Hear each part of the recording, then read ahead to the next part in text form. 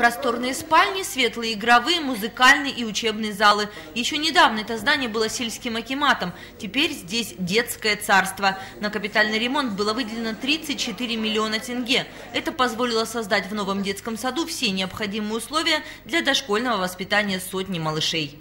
В наш детский сад очень много желающих из соседних аулов. А чтобы родителям с малышами было легче добираться, нам обещали предоставить спецавтобус. Сегодня в детский сад уже приняты 100 детей. Еще 20 проходят этап оформления. Я очень рада, что мой внук теперь ходит в детский сад. Раньше он всегда сидел дома, и я переживала, как он будет себя чувствовать, когда придет время идти в школу. А теперь он и со сверстниками научится общаться, и к школе успеет подготовиться как положено.